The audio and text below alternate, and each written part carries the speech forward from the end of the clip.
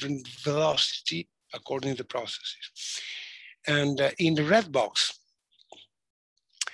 uh, we are uh, plotting the fastest processes for climate.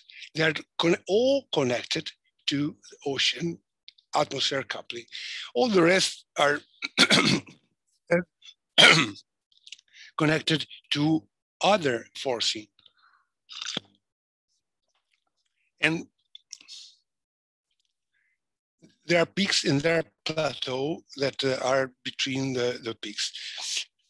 In their uh, um, uh, right uh, plate, we can investigate a bit more the motivation or the causes of these uh, peaks in the in the spectrum.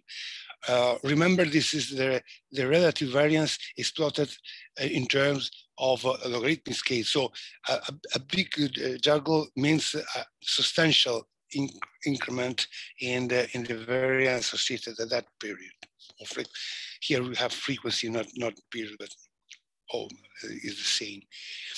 The, the longest uh, uh, scales are uh, the galactic forces relative of ice age cycles or slightly faster cycle. Then they have the astronomical forces connected to the oscillation, periodic oscillation of the Earth. So the precession of the equinox, the uh, eccentricity, and so on. Then you have the faster, uh, well-known faster uh, cycles like Dangar, Dangstar, Oeschger, the, the Heinrich, and, and so on.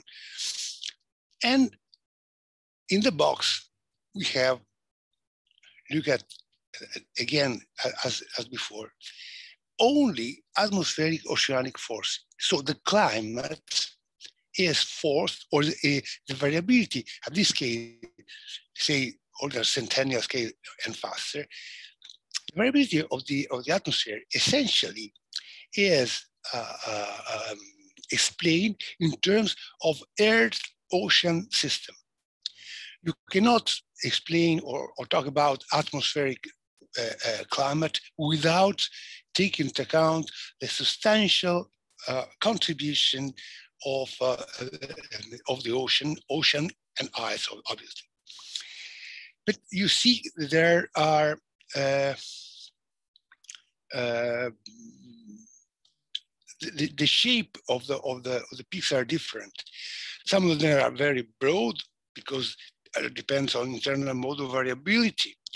And sometimes there are stochastic force uh, uh um, uh, variation. And other are like tides. Here you have tides. Uh, they are directly influenced over moon and and and and and, and sun that influence. So uh, the, the um, shape and the intensity changes with the with the frequency. Generally, you have more energy in longer periods, but in, uh, in the case of uh, oceanography processes, you have specific processes that are very intense, like tides, for example, that are very well defined in terms of frequency. So the superposition of scales is uh, um, the, uh, well, explain what we can observe now. And to understand better uh, the, the extant situation of the ocean condition, we have to go back in time in order to solve uh, uh, or to understand or to estimate this, this kind of, of, uh, of behavior. And okay. Uh, this, the previous graph was, uh, do you know, excuse me, how to uh, move, uh, okay, maybe, okay, done. And um,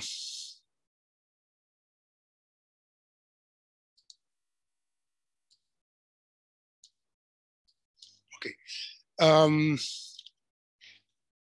let's move from uh, the, the climatic uh, uh, cartoon that uh, highlight the dominant uh, frequency or period of the of the um, forcing affecting climate to more oceanographic uh, uh, uh, issue. So in the plate we see uh, uh, power, power uh, spectral density of a, current calculated at, at the mid-Atlantic ridge is just an example. So we see that that again we have some log-log plots. So a huge number of different uh, uh, time and, and, and frequency and, and, and, power scales are plotted here. And we see, we can divide the, the, the plot in two parts. The, the lower uh, uh, frequency and the higher frequency here, and there are two different uh, um, behavior. This uh, this part of the spectrum, the, the, the lowest frequency, uh, are directly forced by atmospheric uh, variation. And the energy decreases exponentially uh, from higher frequency, as you see as a general tendency.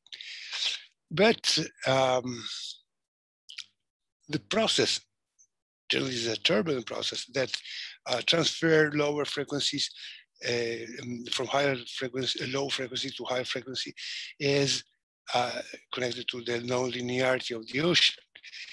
And at the very end, uh, this, uh, oh, sorry, sorry,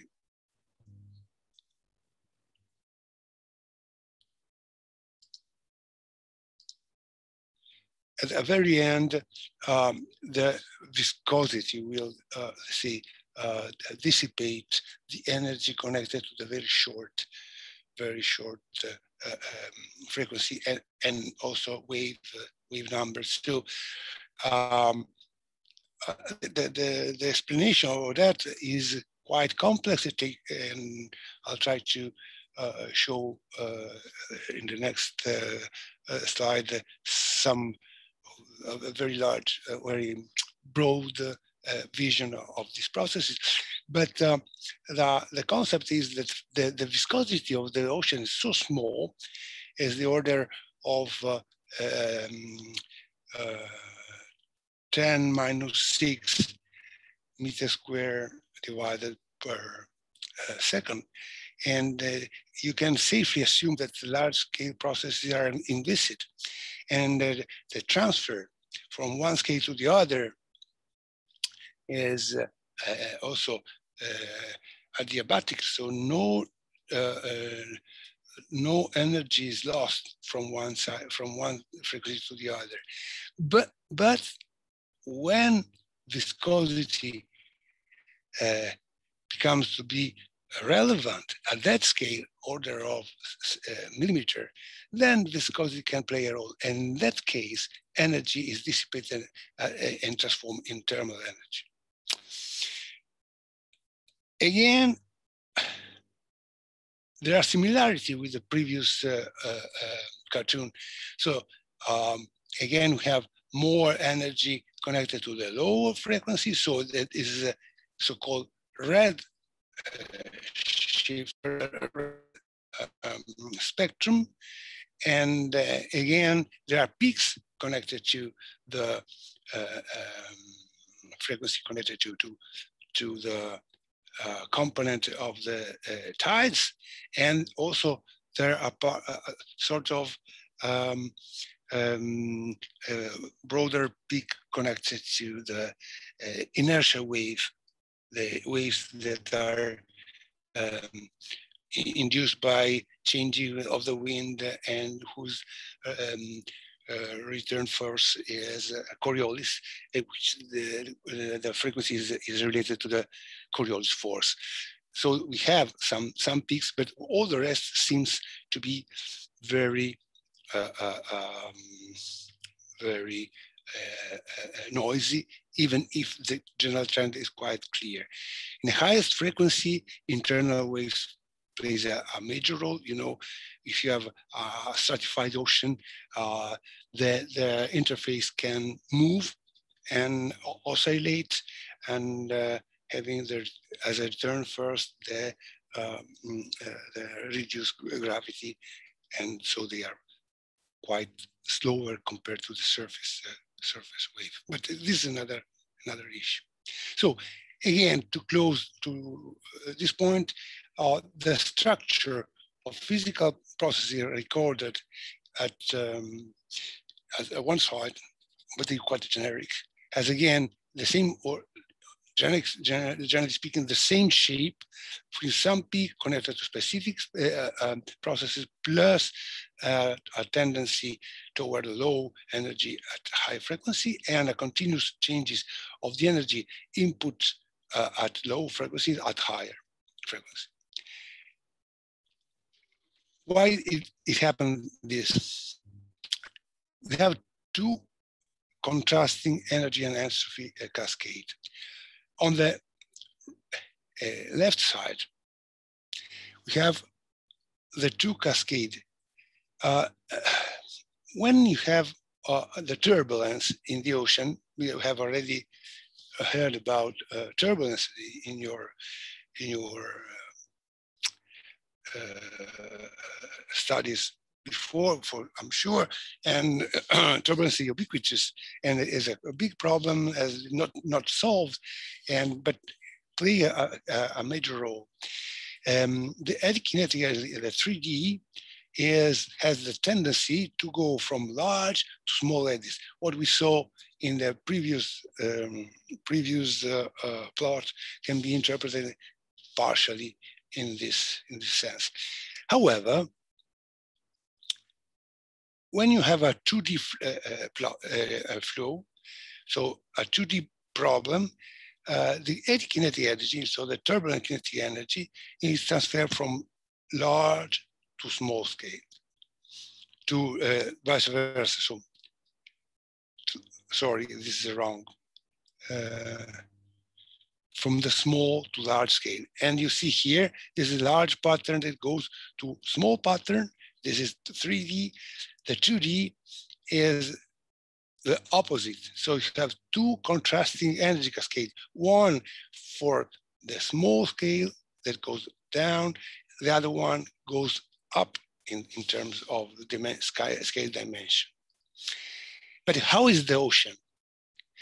If you look at large scale flow, we have the ocean essentially a 2D. Why? Let's make an, an example. Take a a A4 paper and uh, looking at uh, uh, the dimension and look at the definition, the aspect ratio, which is the ratio between the the, um, the height and the uh, and the, the, the, horizontal dimension, you see the, the delta A is five per uh, um, 10 to minus 4. Doing the same for Pacific Ocean, you obtain a very similar, uh, similar number. What does it mean? The aspect ratio of the ocean is similar to um, uh, paper sheets. And in this sense, we can as safely assume that 2D dimension is dominant. And in uh, in under this um, this uh, uh, uh, hypothesis, the 2D mm, turbulence, geostrophic turbulence, as, as I called, is is the dominant part. Different, behave, the, the things behave different, differently when you go down in dimension. If you look at a, a, vertical process like a water column, then in that case, the number or the, the aspect ratio is totally different. And the 3D uh, uh, uh, turbulence is the dominant process. So again, it depends on the scale you're looking at. So if you look at, at the global scale, you have a 2D dominant uh, uh, uh, and eddy kinetic transfer. When you go down to the water column or to small, small uh, problem that 3D fully de developed uh, uh, turbulence processes are the dominant in transferring uh, energy and the, the, square of the vorticity to lower, lower, lower frequency. Okay. Uh, just to um, uh, summarize a bit what we have seen, have seen uh, up to now, um, the variability can be classified in terms of unforced variability, which is the variability due to internal dynamic of ocean atmosphere coupling, forced variability, which is uh, the variability due to some changes in the boundary condition of climatic system volcanic eruption solar variability or the human impacts and astronomical variability, which is the longest part that is due to the interaction between variation of Earth, orbital parameters, in the cycle of carbon and, and ice. So these are the three uh, uh, issues. We'll talk about essentially to unforced variability during these lectures. Which are the scales of the unforced variability? Uh, weekly to month is associated to uh, the uh, ocean uh, mesoscale. Even some mesoscale processes, some eddies, some rings can last more than months, even, even years sometimes. Interannual, interseasonal variability that uh, might result for internal ocean dynamics or interaction between ocean atmosphere. For example, some upwellings could be an intraseasonal.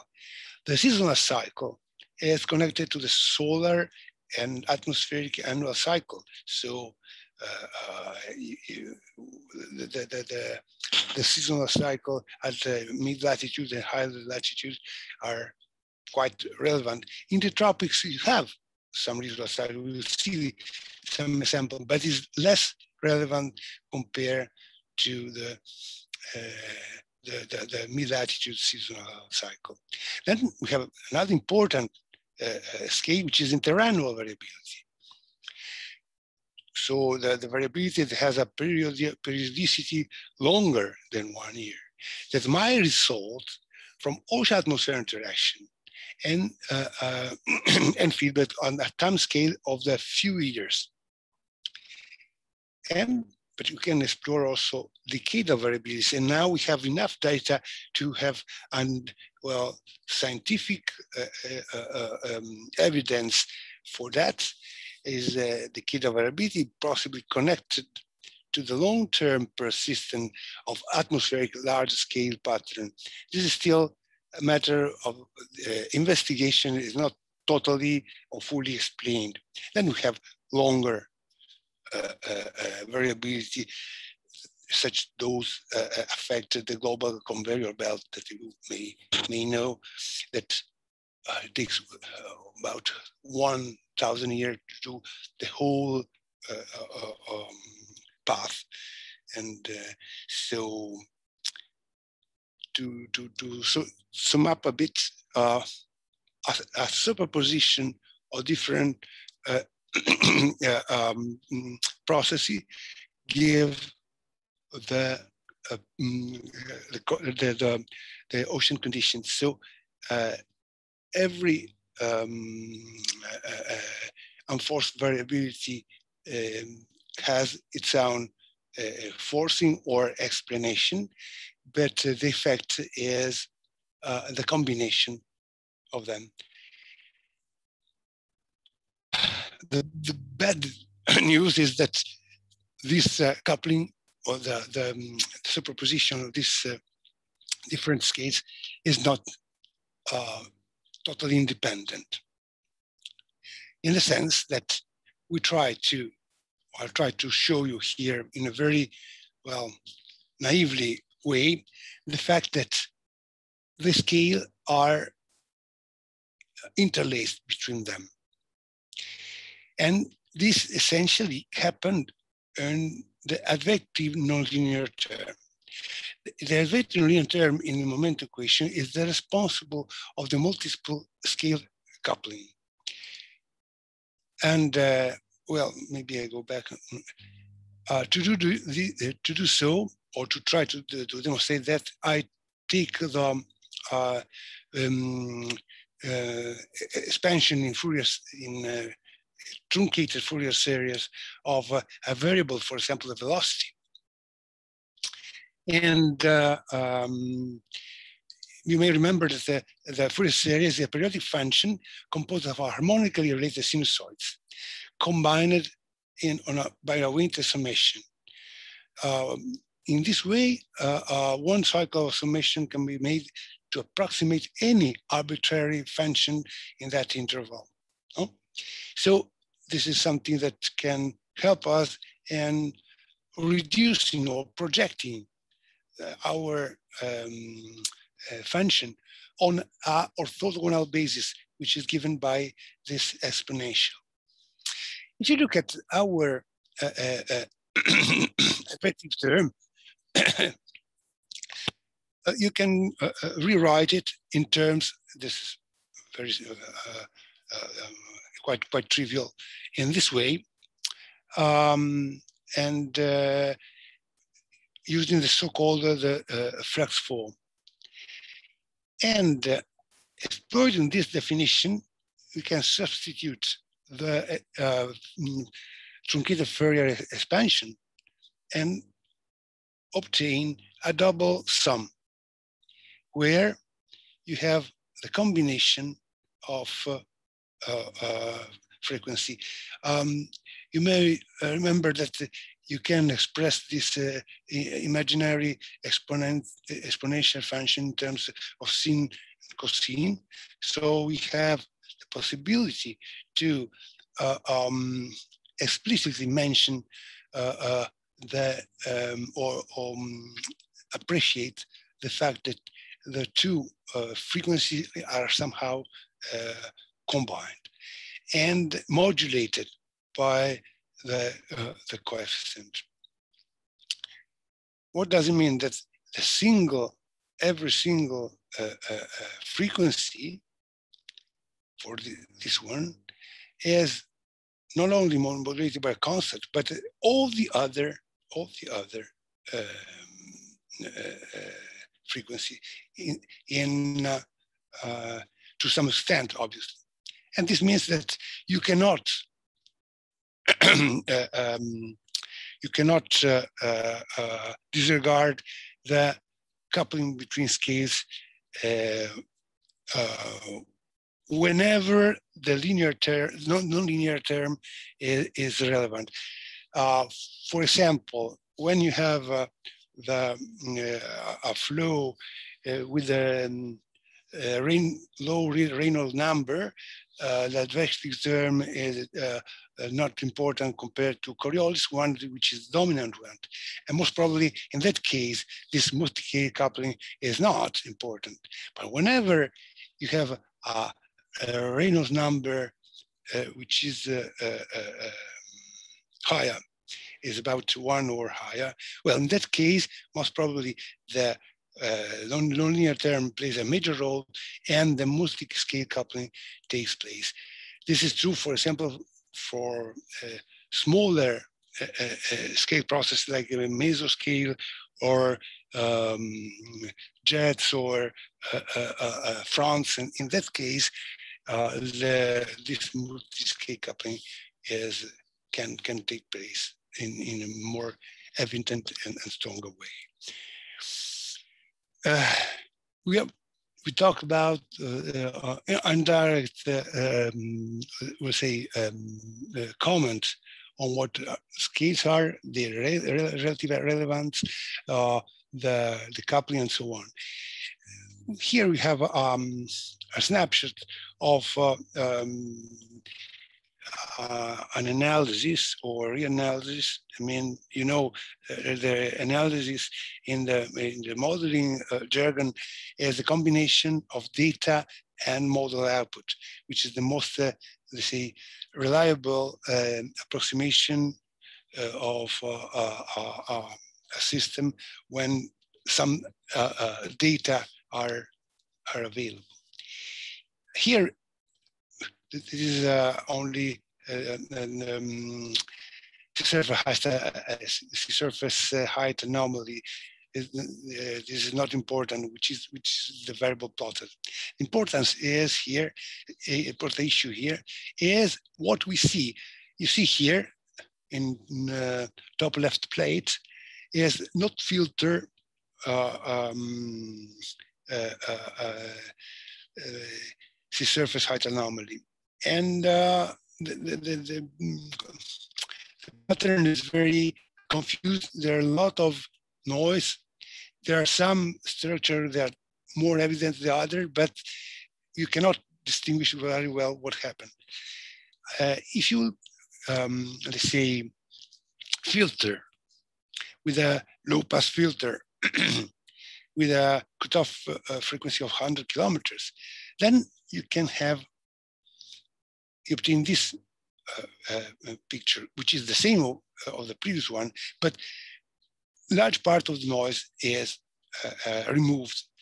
Uh, repeating with more and more higher frequ cutoff frequency, we see the same images, but a bit smeared out by the effects of the of the of the um,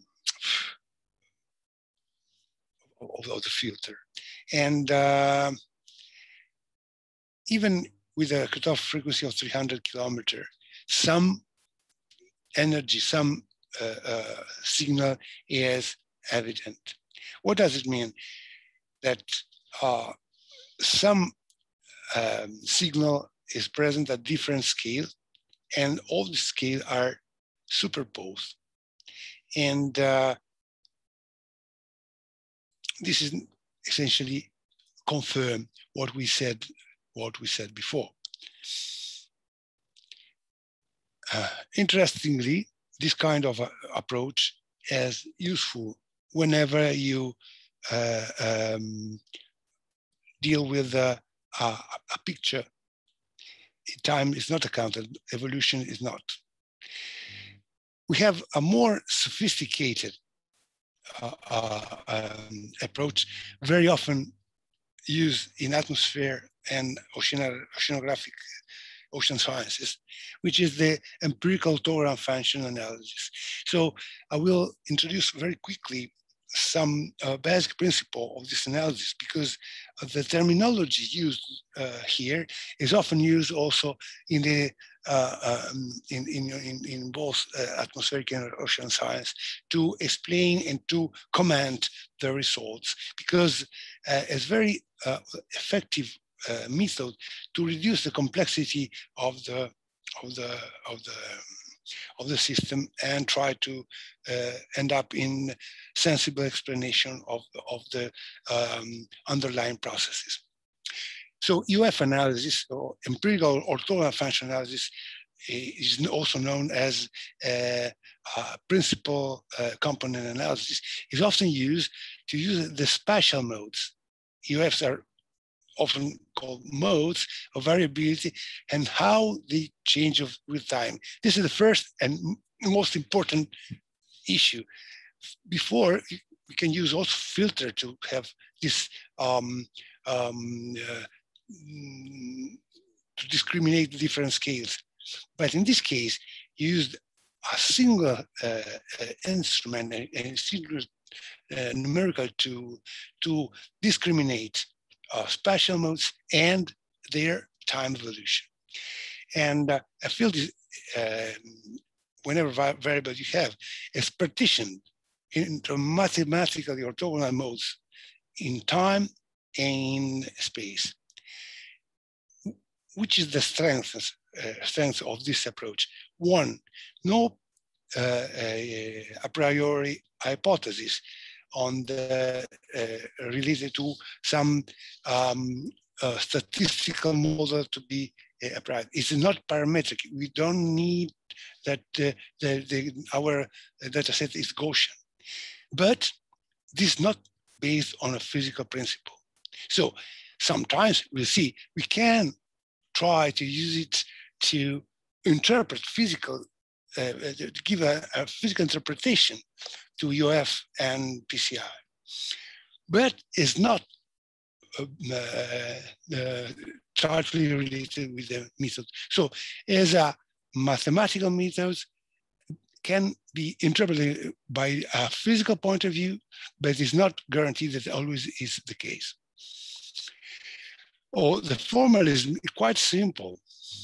You have a generic variable, which is uh, uh, z that can be expressed uh, with a uh, finite sum of EOFs multiplied by the, the principal component.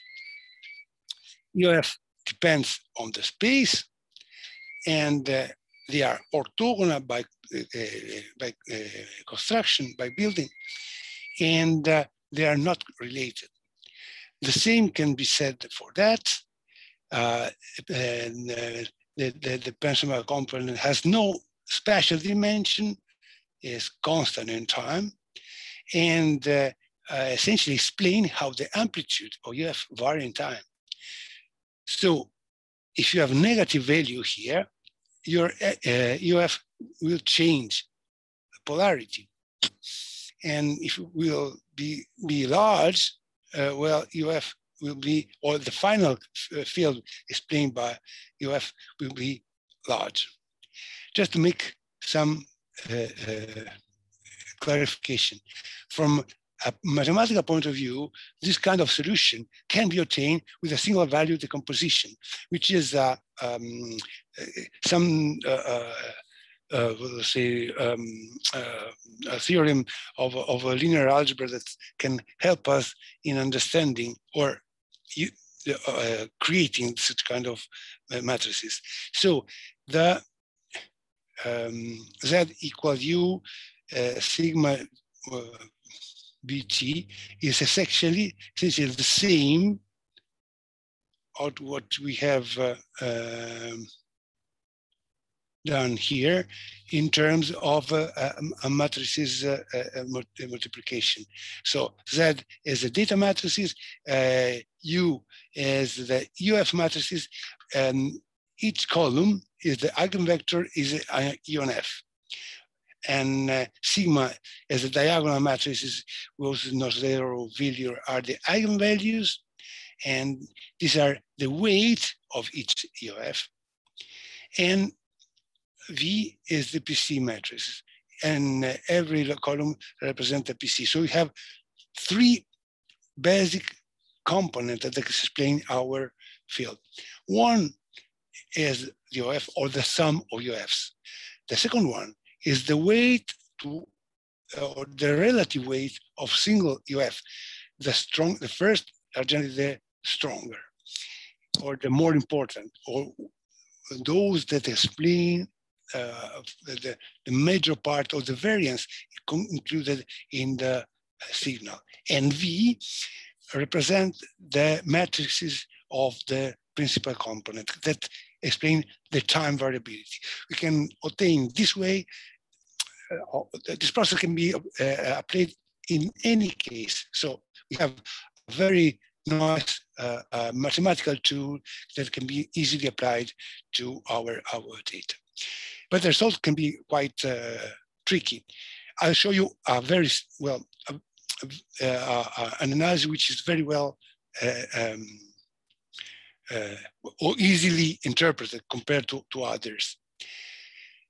Uh, what you see here we have um, a, a, very large database of uh, sea surface uh, temperature observation for uh, about a century. So very extensive in space and time. How we can, well, detect the, the major spatial pattern and how we can detect their evolution. It's quite difficult. There are terabyte of data. So we have to simplify and try to identify this dominant mode variability. And EOFs can help us. Here you have EOF. EOF, remember, has X and Y dimensions, so are images.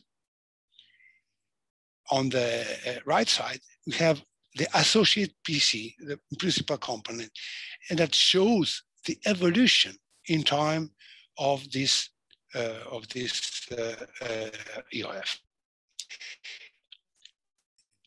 And now we can try to uh, uh, um, uh, add some physical interpretation of the results.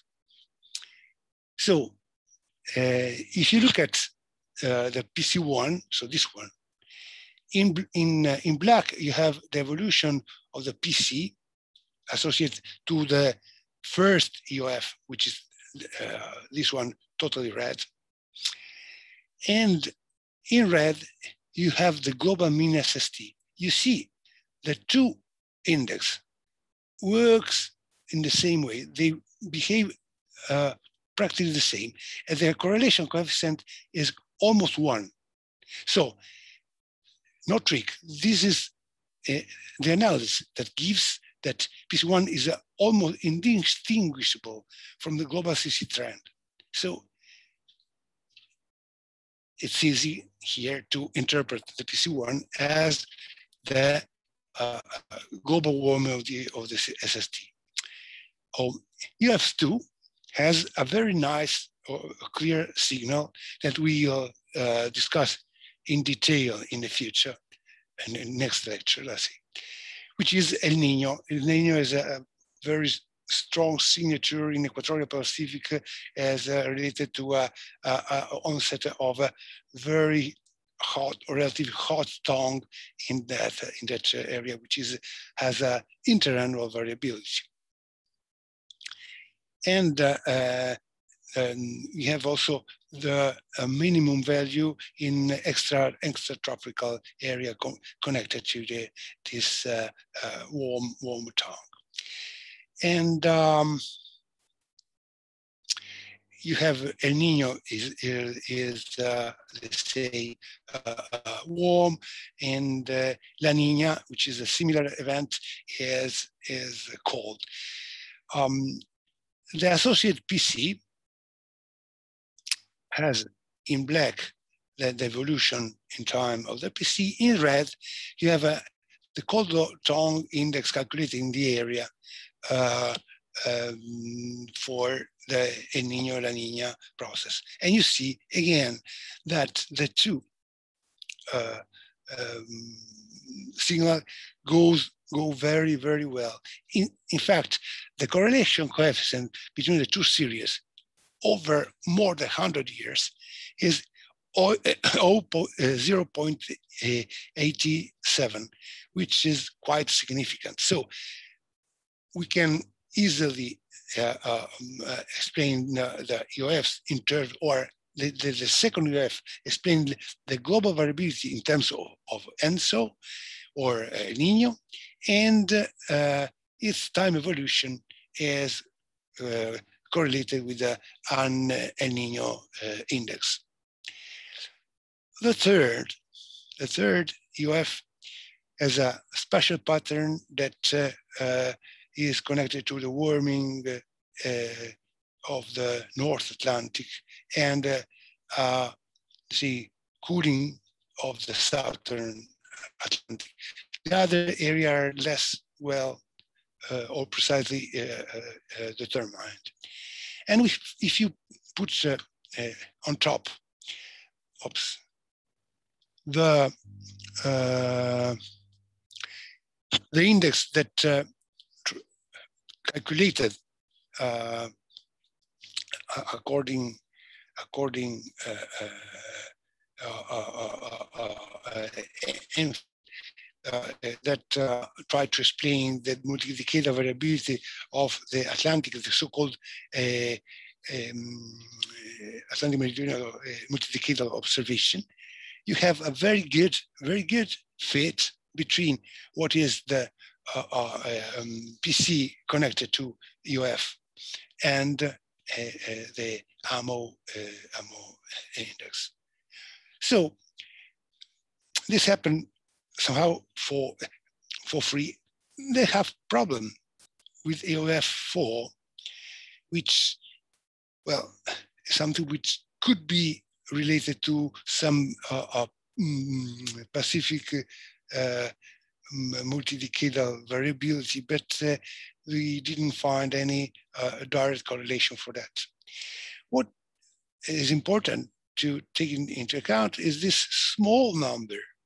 So the total variability or total variance of the sea surface temperature, global, globally speaking, is explained to the variability is explained for the 26% for the first EOF by 13% by the second one, 4% by the uh, uh, EOF3, and 3.77% uh, by EOF4. So means the first three of three EOF explain uh, the large parts of the variability, almost uh, say more than 40% of the global variability. All the rest, all the other variabilities, all the other, uh, um, you have as a, a, a um, percent of uh, explained variance uh, smaller. So the dominant mode here are again or can be related to the global uh, uh, warming trend in, in, SST, the ENSO phenomenon, and the uh, AMO uh, Atlantic Meridian multi-decadal uh, oscillation. And this is quite quite a, a, big result. So we can we can uh, say that we can explain the behavior in terms of a limited number of dominant processes. We are very happy for that.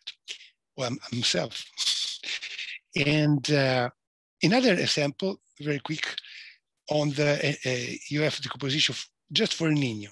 Nino, we know, has a, has a strong terminal variability. And again, uh, we have uh, uh, uh, uh here the EOF, you see on, on the left side, um, left side, an EOF here and uh, which is the, the cold uh, tongue of the uh, equatorial area that correspond to El Nino La Nina.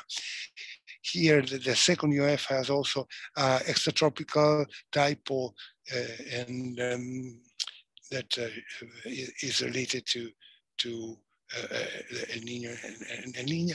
And the, the third EOF is more difficult to be interpreted.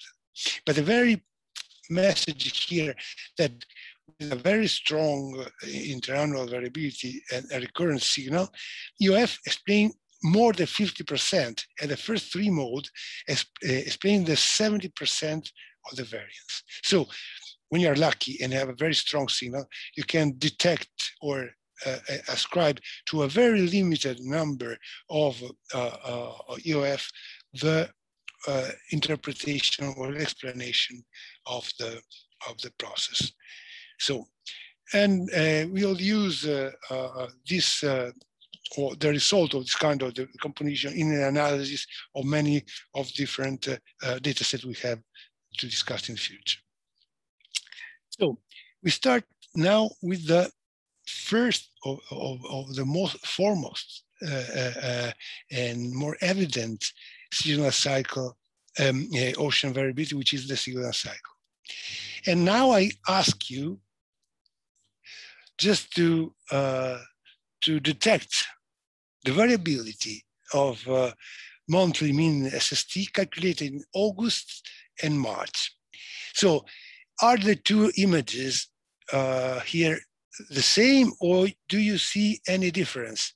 Please I, I, need your help because I'm old and and get tired, and so I I, would uh, I'm ready to accept uh, your suggestion.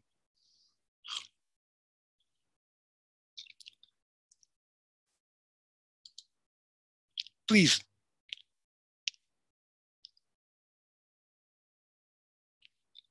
Don't you see any any difference between the two images? I mean, this the, the monthly SST for August, the monthly SST for March are the same or you see any difference? Come on. Um, I think yes, there's a slight difference. Okay. Slight difference, yes. Where? At the top of Africa, we have on uh, during the August, I think we have one SST Yep. and at the top of Africa, Top yes. Mediterranean. Mediterranean has a, a prominent seasonal cycle, right? But look at the Caribbean. There is a, in, in this part no seasonal cycle, but in the Gulf of Mexico, this is strong. And look at the, the here, the, um, the Gulf Stream. In the Gulf Stream, or in the frontal region, the Gulf Stream, you have a strong variability. Not to mention uh, uh, this part. Look at here. You can have freezing area in in in uh, in um, in near Kamchatka and uh, uh, 50 degrees in, in summer. And uh, mostly the most prominent area is the in the in the polar area. Here you have ice until here, and uh, in uh, in uh, in in March, which is the the austral uh, summer, it's widely reduced. So the scale is is, is wide, and the the the, um, the meridional gradient is always present, but you can have many many uh, reasons, especially in temperature, in, in temperate mid latitude, and in polar area where the changes are quite quite significant. And um, you can see also in this this uh, um, area of the Pacific, you have warmer warmer area, and uh, the distances between uh, iso isotherms are more spread in the southern part in August and more uh, um, see compressed in, in March. So the first glance say, well, more or less are the same. But if you look at in detail, and the scale is pretty, large, and uh, there are substantial differences. And uh, okay, so it, to summarize, there is a permanent median temperature gradient, no, no, no matter for that. But some seasonal changes can be found at mid-latitude in coastal areas and polar region. And we didn't talk about, but there is a seasonal modul modulation present in the tropics. And um, what is exactly, uh, can, how we can define the seasonal cycle? Seasonal cycle of, of generic variable is the current variation of the, uh, this variable on annual basis. This variation is usually related to the seasonal change in forcing field. It's not natural or internal variability. It's something which is depending of the sun and depending on the wind.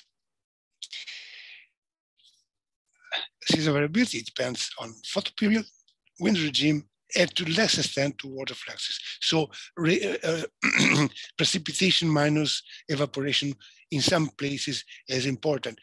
At the uh, polar area, the um, ice melting or, ice, uh, or, or, seasonal ice formation can also play a major role on that. Temperature is the variable that most is sensitive to these changes. And uh, uh, the, the, the, the, fluxes of heat and momentum, moisture, fresh water, and salt gases are exchanged to the sea surface, affecting not only temperature, but also salinity, velocity, gas concentration, also other biogeochemical uh, variable. And uh, uh, another elusive, uh, uh, but yet uh, important variable is the turbulent and uh, the concomitant uh, or uh, turbulent turbulent driven mixing, which is also changes with the wind stress and with the stratification. So the seasonal variability affect temperature, but also other um, um, say, uh, variables. And this is not limited only at surface, but also in the water column through the turbulent mixing processes. Uh, using the terminology of uh, EOF, we can say that the seasonal cycles are the leading mode of variability of uh, um, the ocean temperature in the mid-latitude and polar uh, region. And uh, um, the, the air sea heat fluxes and, uh, and, uh, then the wind regime induce uh, all, uh, uh, has a large feedback on the upper ocean thermodynamics, not only in the uh, just at, at, the surface. And also, I can say that uh, um, many geophysical and biochemical properties and events are present, exhibit a strong seasonal component uh, in relation to temperature, the other uh, uh, water properties, like um, the surface ocean circulation or dense water formation, sea level variation, mixed layer depth, and other, other associated processes. Um, which is the, the basic uh, um, uh, say, uh, way to treat data in order to elicit uh, the, the seasonal cycle. Um, EOF could be one, but sometimes we, we are uh, less um, uh, um, it, it, it, it's not so easy to interpret the results. And uh, generally for, for the monthly, for the, for, for the seasonal cycle, it's better to create a, a sort, so-called uh, uh, climatology. And uh, here we have uh, the, the climatology for the Mediterranean. We have 12 plates. Every plate has one month. It's co called climatological month. This, this plate is obtained by the superposition of all the data that are available in, in a data set for that specific month, irrespective of the years. So every March or every data from March is sum up and then divided for number of the samples. If you repeat this uh, uh, uh, procedure over the all month the year, you obtain the climatology. Uh, monthly climatology is a good uh, uh, representation of uh, uh, of the of the seasonal cycle. So just to give a look at um, at this this plate, this is Mediterranean, the, the, the upper part of Africa, right? As the, as you told me earlier. And uh, this is the surface, uh, surface temperature. And you see in January and in August, you have a very different colors. We don't have the, the color scale or the color scale is not readable, but you can easily guess that this is, the blue is cold and warm is uh, and, and, uh, and yellow, uh, red is warm, and the difference could be 15 degrees. I mean, in six months, 15 degrees is quite a big change. And every uh, half an year, you have the reverse. So it is a quite ever and fast changing upper layer all over the whole basin. And this is a quite uh, a, a significant variability in this in this area. And this is the major trend. We made an analysis and we found that uh, the seasonal cycle is playing from this, depending on the month, from 80 to 90% of the all variability in the basin. So as quite, quite important signal to explain the system dynamics of, of um, of the Mediterranean. Um, this is a strong effect also on uh, on chlorophyll or other uh, um, uh, biogeochemical uh, variable. And um, also uh, is a proxy for biological activity. biological activity is uh, so important in capturing and sequestering CO2. So CO2, uh, uh, uh, the um, most important greenhouse gas, is sequestered by biological activity, which follows the seasonal cycle. You can see here in the, these seven plates each plate correspond to one part of the Mediterranean. And uh, in um, in red, you have uh, uh, the model. The, in uh, in box, there are data, but you see the, the two go uh, well hand in hand uh, and follow the the behavior. The increase of, of, of chlorophyll means the increase of the biomass has a prominent seasonal cycle in all the different basins with some differences for sure, but more or less they strictly follow the seasonal cycle. It means that they depend on the temperature, on the uh, irradiance available, and uh, the turbulence and the, the, depth of the mixed layer, and so on the, the physical forcing is the responsible of the changes in the, uh, the, the, the biogeochemical uh, uh, variable in a one-to-one uh, uh, correlation. Um, we don't want to touch, uh, well, it, I don't say it, it's easy, it's easy, but is more easier to, explain the seasonal side variability. And we saw uh, probably uh, tomorrow how to quantify this kind of uh, um, uh um, uh, seasonal variation. But there are areas that are much more complex. For example, we saw in the, in the general, in the global uh, SST um, plate that the highest high latitude has a prominent uh, uh, uh, seasonal variability, and also because ice. And if you see in this plate, you can easily imagine how different are the um, SST and salinity condition when the, the ice is formed, both in Arctic, this is March, this is September, and uh, uh, in Antarctic, February and September. The area covered with the seasonal uh, ice, ice cover uh, changed dramatically. And obviously, all the, the, the, variable associates changes in terms of heat fluxes or um, salinity, because you know ice uh, is not saline, and so uh, uh, the, the, the uh, additional salt is released in the surrounding waters, and so salinity changes.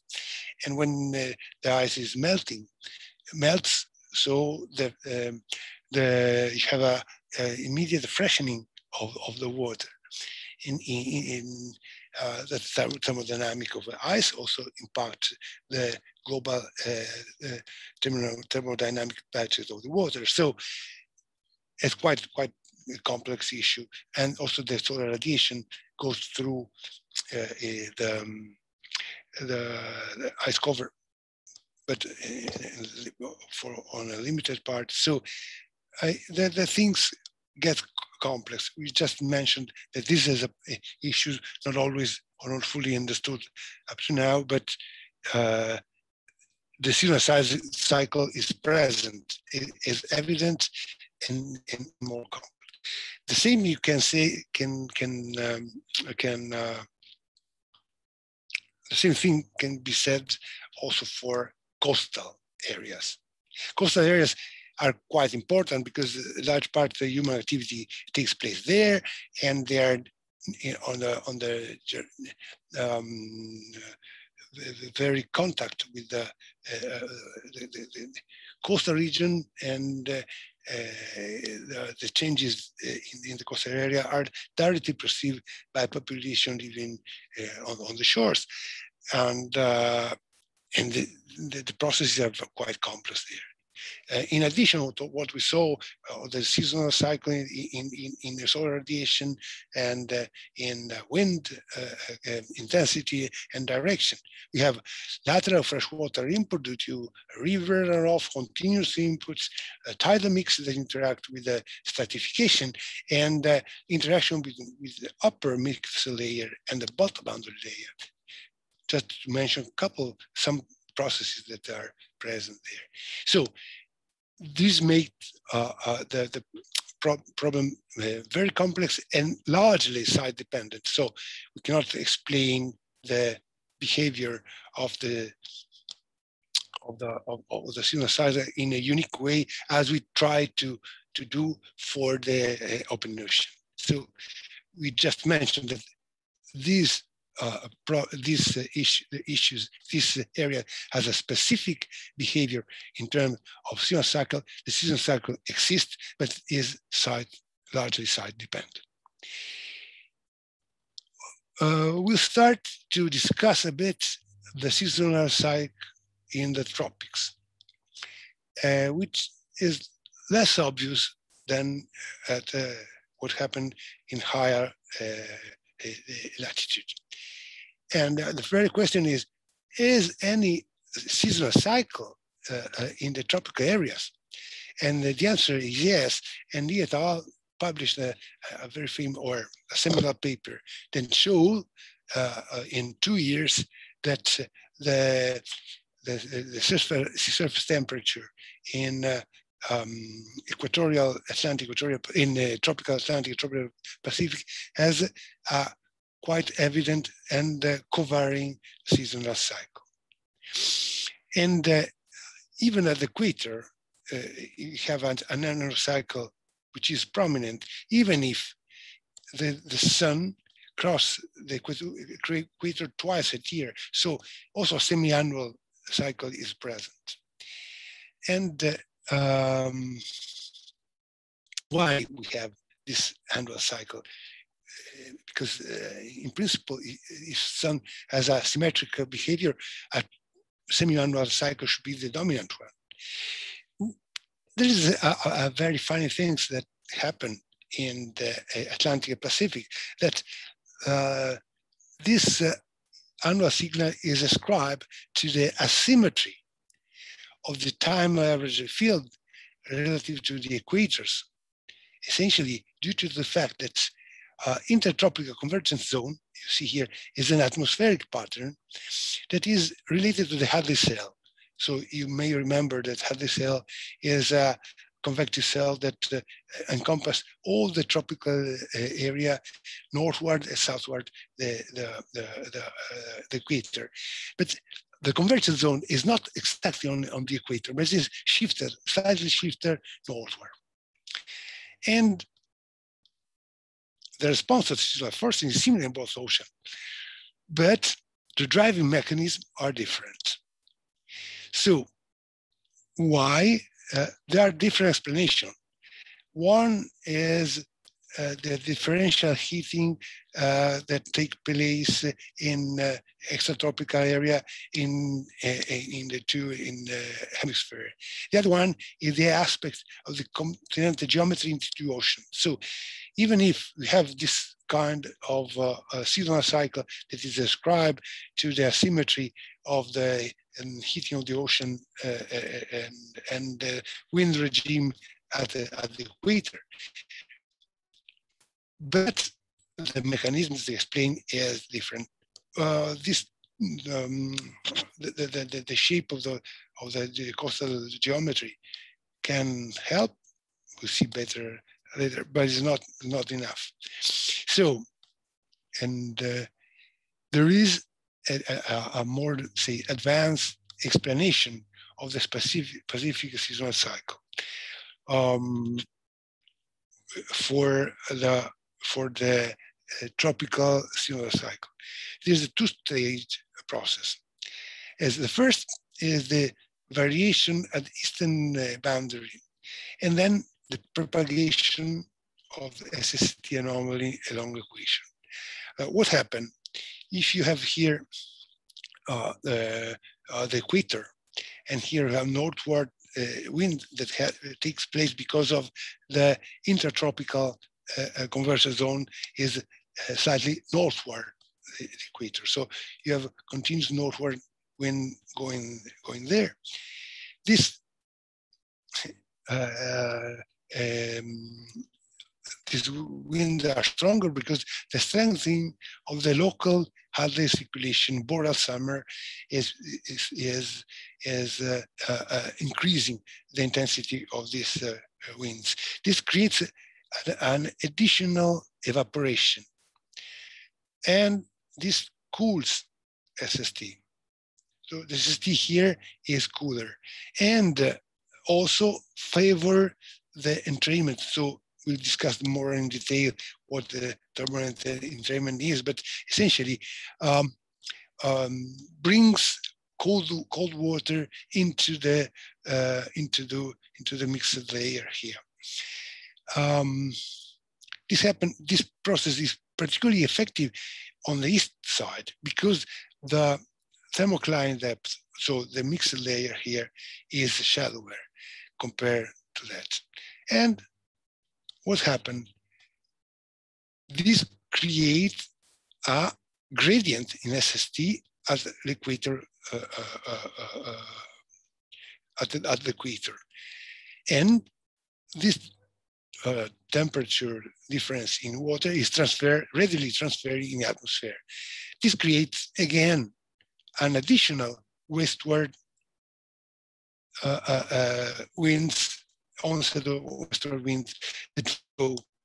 This uh, obviously at, at, at, equator, no Coriolis force, and the, uh, the westward wind goes directly to the uh, uh warm SST pool set in the in the uh, western part of the of the Pacific Ocean.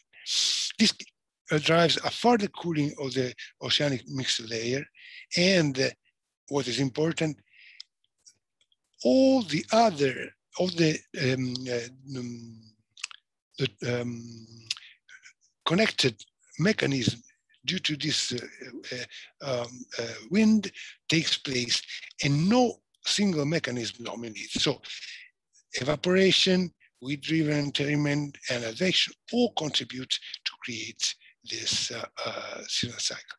When the um, uh, the boreal uh, intensification of the local Hadley cells ceases, finished, well, everything go back in the previous situation. And the, um, the um, westward wind no longer blow. And we are uh, restoring the original one.